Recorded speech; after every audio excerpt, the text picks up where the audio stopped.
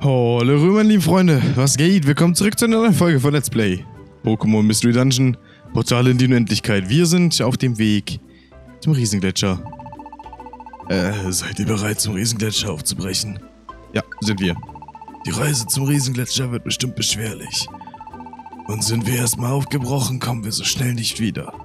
Seid ihr euch also sicher? Na klar sind wir uns sicher. Prima. Dann holen wir jetzt die anderen, damit es endlich losgehen kann. Wir beschwören jetzt den Zugang zu einem ganz neuen Dungeon. Ein Magma Magna-Portal. Kein Magma-Portal.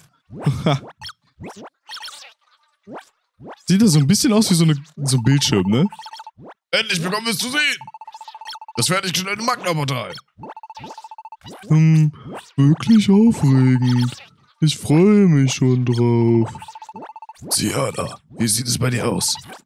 Bestens. Ich bin bereit. Gut. Leute, geht einen Schritt zurück. Es ist zu eurer eigenen Sicherheit. Okay. Na, los geht's. Ja. Drei, zwei, eins.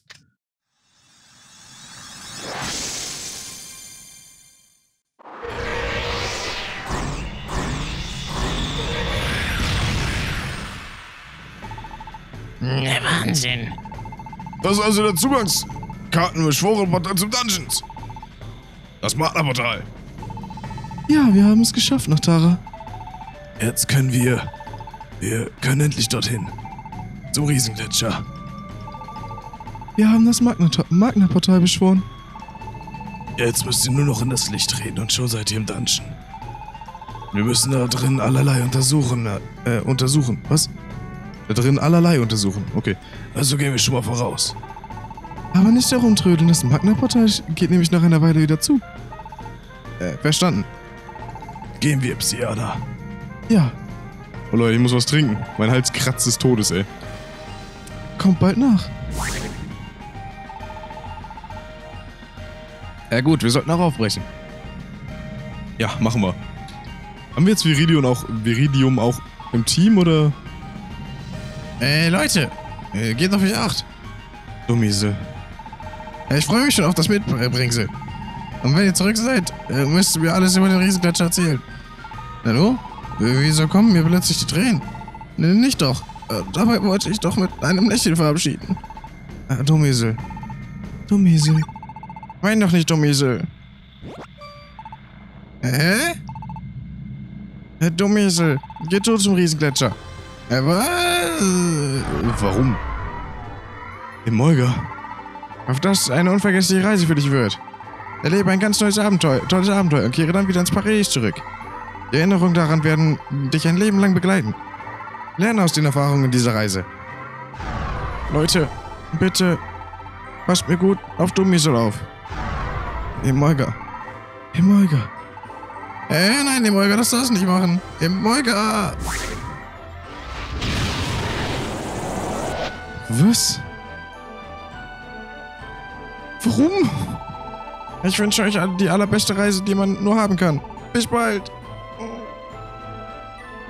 Warum?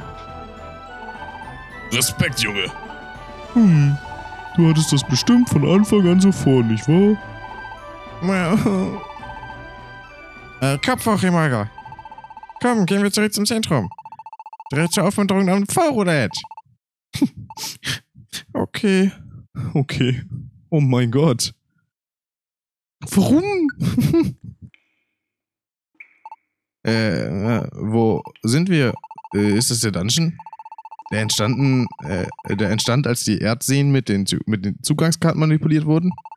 Es ist so dunkel. Man sieht ja gar nichts. Äh, ich höre Stimmen von da drüben. Das klingt wie nach Tara. Äh, von da drüben? Wo genau ist dort drüben? Na hier, folgt mir einfach. Aber passt auf, wo ihr in der Dunkelheit hintretet. Da seid ihr. Okay. Nein, Molga. Du Miesel. Ich kann immer noch nicht glauben, was der Molga da getan hat. Geht mir genauso. Er hat uns in allerletzter Sekunde da alle damit überrascht. Das war unfair.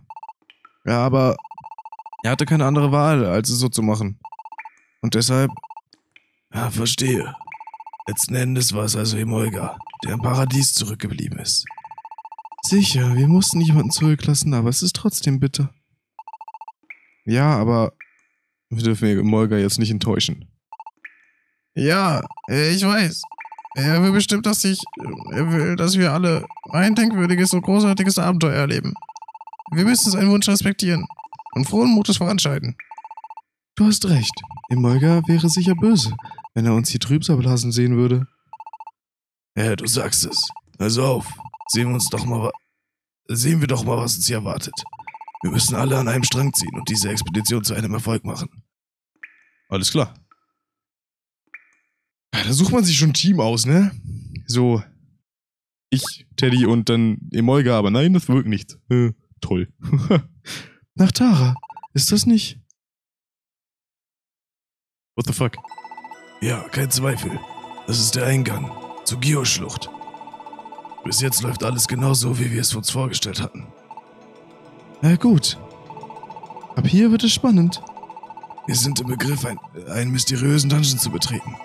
Und weil er sich, äh, weil er durch Manipulierungen der Erde, Erdsee mit den Zugangskarten entstand, kann auch niemand sagen, wie mystisch er ist.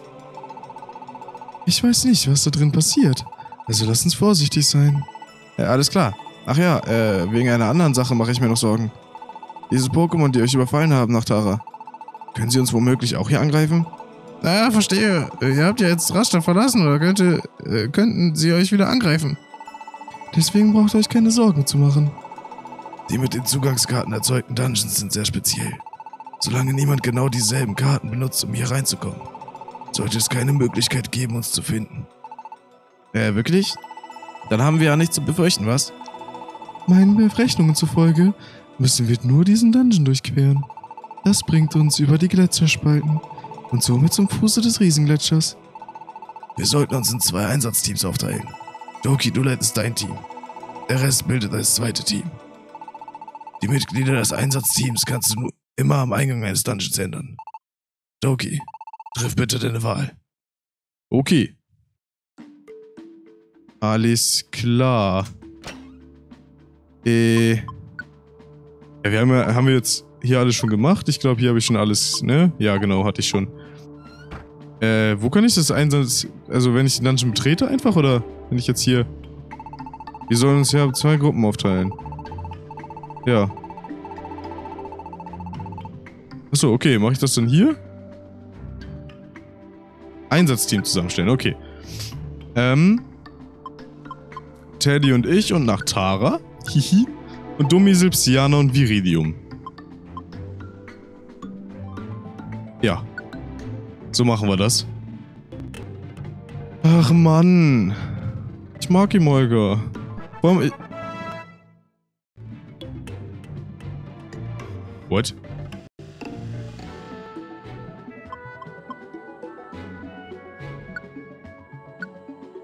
Äh...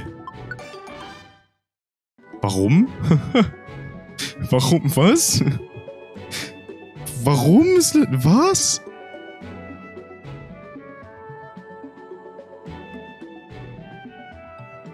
Hä? Warum ist nach da... Was? Warum ist nach Tara jetzt ein Level aufgestiegen? Hä? Ich meine, okay, aber... Hä? Warum? Also, jetzt mal wirklich, warum? Es ergibt keinen Sinn. Aber okay, ich akzeptiere das einfach mal. Ah, also, was würde ich sagen mit Gemolge? Oh Mann, ich mag das Pokémon halt an sich. Und ich dachte mir so, oh cool, wir können uns wieder so, ne, ein Team aussuchen und so. Und ich mache bei Mystery Dungeon ja immer nur ähm, Dreier-Teams, nicht Vierer-Teams, weil vier sind, ich, find, sind finde ich im Dungeon zu viel. So. Dann dachte ich mir so, cool, wir haben unser Team. Schon gleich von Anfang an sogar. Aber nein. Emolga darf nicht mit in... Oder kommt nicht mit hier. Nein, nein, nein, nein, nein, nein. Okay. Kann ich nach Tara ein Item geben? Oh, jetzt kann ich... Mann. What the fuck? Ich lebe noch. So. Haben wir denn... Ja, wir haben das zweite Versammlungscape. Alles klar. gehen wir das nämlich nach Tara. Hihi. ähm.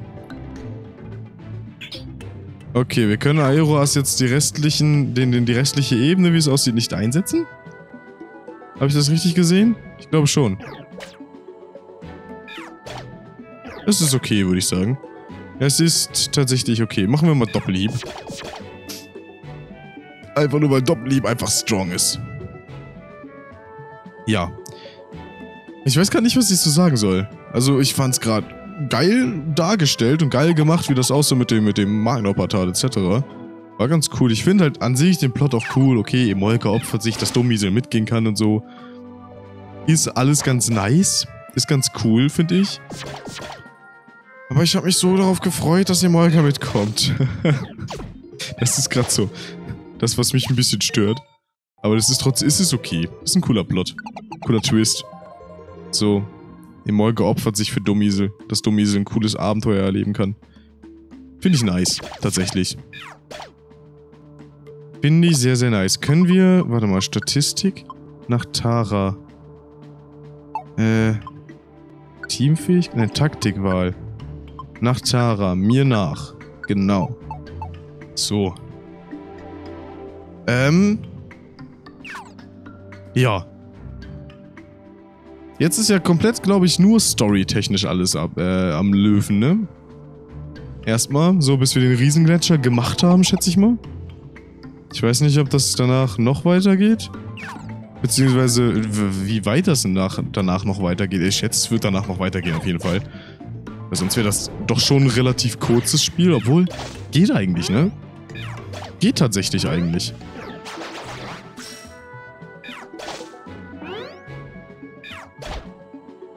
Gerade sagen, kannst du mal besiegt werden, Alter. Ähm, obwohl es geht eigentlich. Mystery Dungeon 1 war ja auch nicht unbedingt lang, ne? Mystery Dungeon 2, also Erkundungsteam, Himmel, Zeit, Dunkelheit und so, das war arschlang. Also ich habe da ja 96 Parts, glaube ich, gehabt. Ist, glaube ich, bis heute auch mein längstes Let's Play bisher.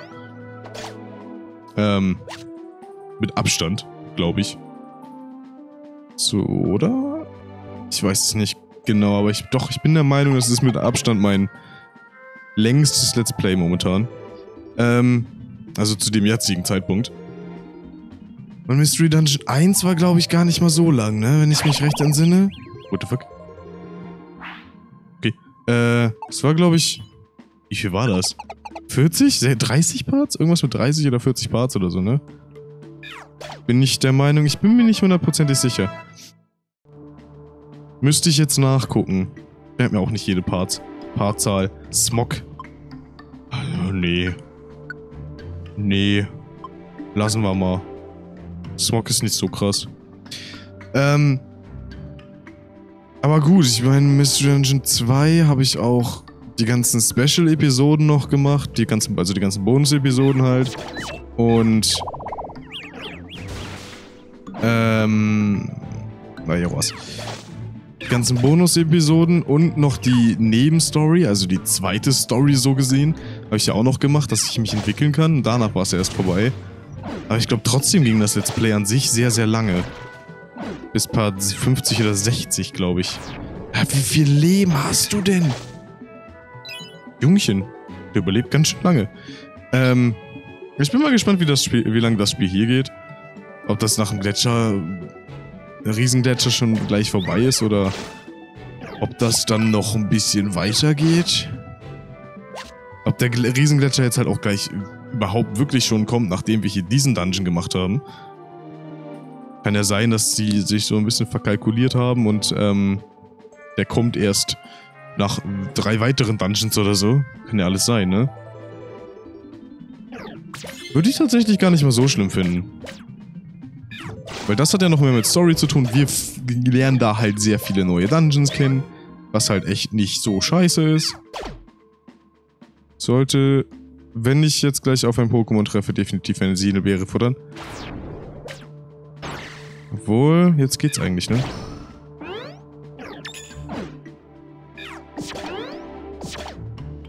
Okay. Da oben geht's wahrscheinlich nicht zum neuen Raum. Ähm. Was wollte ich gerade sagen? Achso, ja, das würde ich nicht so schlimm finden, weil wir hätten ja dann neue Dungeons, die wir erkunden und so. Also gibt es ja schon was Neues. So, am Anfang war es halt einfach nichts Neues, sondern nur stetig das gleiche Missionen machen und unnötige Items bekommen. So, damit wir unnötig was in der, im Paradies bauen können. Für mich persönlich unnötig. Aber dann, das jetzt hier wäre es was anderes. Finde ich. Ähm. Oh. Schutzschild, ey. Ich hasse diese Attacke. In Mystery Dungeon ergibt sie jedenfalls noch ein bisschen Sinn. Aber in ähm hier im normalen Pokémon-Spiel, ich finde die Attacke so sinnlos. Also jetzt mal im Ernte. Die ist halt so komplett sinnlos. So, du verschwendest einfach nur eine Runde. Du kannst, das gibt dir ja keinen Bonus, genauso wie Scanner. Es gibt dir ja keinen Bonus, dass du eine Attacke ausweichst. Oder so. Also, oder? Nee, ich glaube nicht. Deswegen, also, kein Plan, was das soll. äh. Teddy, leg du mal los, bitte.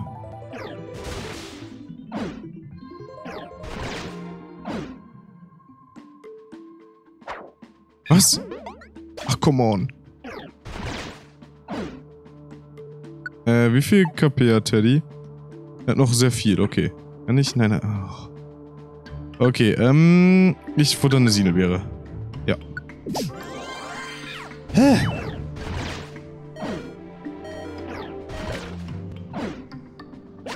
Nein. Oh, ich dachte, wieso greift er nicht mich an? Straight nur übers Eck. Macht nichts anderes. Der Boy hier. Kann halt auch nichts anderes einsetzen. Noch Drachenblut kann ich noch einsetzen, merke ich gerade. Ah. Keine neue Attacke leider, schade. Was wollte ich jetzt sagen? Jetzt habe ich vergessen. Egal. War wohl nicht wichtig.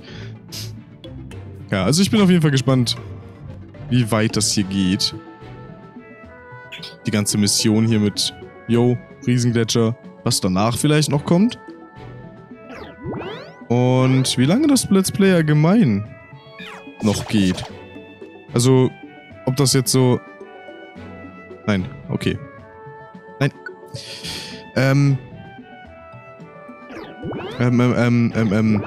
Ja, wie gesagt, ob das jetzt so lang ist wie Mystery Dungeon 1 zum Beispiel oder ob das jetzt so lang ist wie Mystery Dungeon 2. So im Grunde. Und was uns noch alles so erwarten wird im Laufe der Story. Das ist natürlich dann auch noch sehr interessant, finde ich. Oh Gott, ey. Diese Pokémon, ne? Puh. Schon wieder zwei von denen, ey. Aua.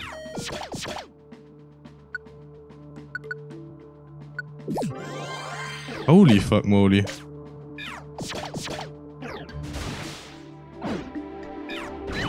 Die sind strong, Alter.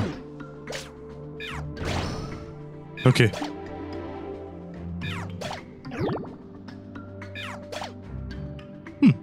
Ähm.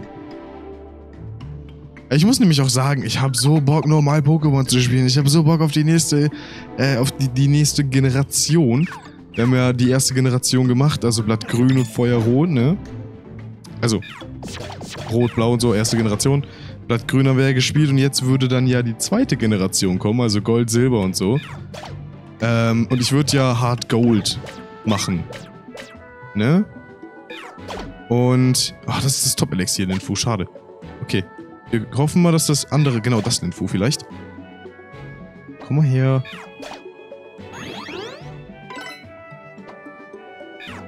Ist es das? Nein, es ist nicht. Ich will das Belebersamen, Beleberlamen, den Fu haben. So ein Belebersamen können wir ganz gut gebrauchen, bestimmt. Und es gibt ein Level-Up für Natara, okay. Ähm, ja, ich hab Bock auf die zweite Generation, aber so. Des Todes Bock auf diese zweite Generation. Und also allgemein auf Pokémon momentan. So. Deswegen. Hab ich halt Bock, neues, äh, auf, auf neuen, neues Let's Play dazu. Und es wäre ja, wie gesagt, äh, die zweite Generation, danach ja die dritte Generation. Und ich freue mich halt sehr auf die vierte Generation. Das ist meine Lieblingsgeneration in Pokémon. Diamant und Perl und Platin. Die beste Generation in meinen Augen. Um Längen. Obwohl, um Längen vielleicht nicht. Ich fand Rubin und Saphir auch richtig gut. Und halt auch ähm, Gold und Silber. Die erste Generation fand ich tatsächlich nicht so krass. So. Ähm, aber vielleicht, weil es halt die erste ist und es da noch nicht so krass viel cooles Zeug gibt und ich diese Generation im Prinzip auch erst sehr spät gezockt habe. Nach den vorher genannten, halt nach Generation 2, 3 und 4 habe ich die erste Generation erst gezockt. Es könnte halt daran liegen, dass ich die Generation nicht so krass finde. Ich weiß es nicht genau. Oh, Scanner, ist das denn ernst? Wie gesagt, hier ist Scanner und so, ist praktisch hier. Sehr schön nach Tara, nochmal Ruckzuckkipp. Nice. Okay. Ähm. Ja. In meinen Augen Generation 4 die beste. Generation 5 habe ich halt auch noch nicht wirklich, also nicht wirklich gespielt. Es ist Ewigkeiten her, dass ich sie mal gespielt habe. Und ich habe sie halt auch nur einmal gespielt. So, deswegen kann ich mich nicht viel an sie erinnern. Ähm, ich weiß nicht genau, wie gut oder wie schlecht sie war. Und Generation 6 und 7 habe ich gar nicht gespielt. So.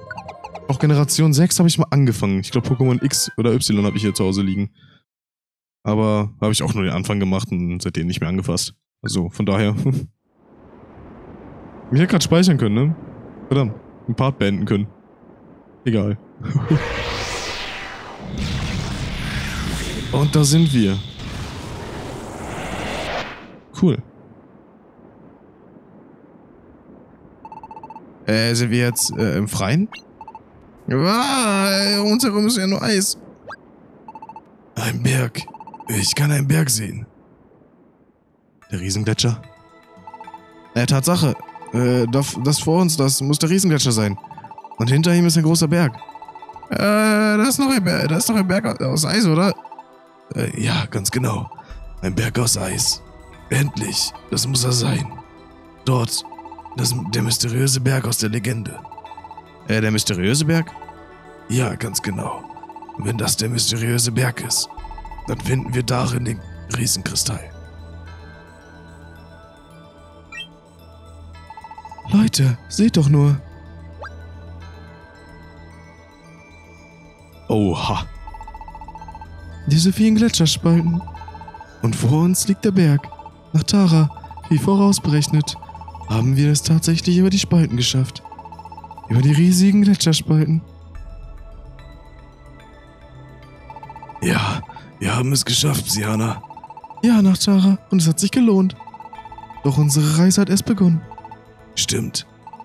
Ach ja, wisst ihr, warum er der, der mysteriöse Berg genannt wird? Weil man sagt, dort drüben, äh, da, da würden allerlei mysteriöse Dinge vor sich gehen. Genaues weiß niemand. Aber vielleicht geht es dabei um Dinge, die in der Luft schweben. Mit anderen Worten, ich gehe davon aus, dass sich der Riesenkristall der Dinge, der Dinge schweben lässt dort befindet. Äh, das wäre ja der Hammer. Und zu diesem, Entsch- äh, zu diesem Schluss kommt ihr aufgrund eurer jahrelangen Forschung, nicht wahr? ich wünschte, dem wäre so. Aber in Wahrheit ist alles ein wenig anders. Hey, Psyana, das ist nicht lustig. Hahaha, entschuldige bitte. Natürlich haben wir geforscht und auch allerlei Informationen gesammelt. Aber leider haben wir nichts gefunden, das nach Taras Theorie unterstützt. Alles nur Gerüchte und Hörensagen. Was wirklich dran ist, weiß niemand. Äh, was? Tja, so ist das. Wir haben keinerlei Beweise. Aber die brauchen wir auch nicht. Gerüchte und Hörensagen, mir reicht das. Wo bleiben denn sonst Romantik oder Abenteuer? Seht ihr doch auch so, oder? Äh, wow, ich dachte, dass, äh, du würdest dich äh, nur für Forschungsergebnisse interessieren. Aber in Wirklichkeit hast du mehr im Sinn als Romantik als äh, für Sinn, mehr Sinn für Romantik als für anderen Abenteuer. Da müssen wir uns tatsächlich ranhalten. Ja, ich bin schon ganz aufgeregt. Äh, los geht's. Gehen wir Freude, äh, gehen wir, Freunde, auf ins Innere. Was uns da drin wohl für Gegner erwarten? Was uns da drin wohl überhaupt erwartet? Aber was auch ist, wir schreiten voran. Ja! Nice, Leute. Aber ich würde sagen, das war's mit dieser Folge. ich hoffe, es hat euch gefallen. Wenn ja, bewertet die Part. Wir sehen uns bei das nächstes Mal wieder. Haut rein!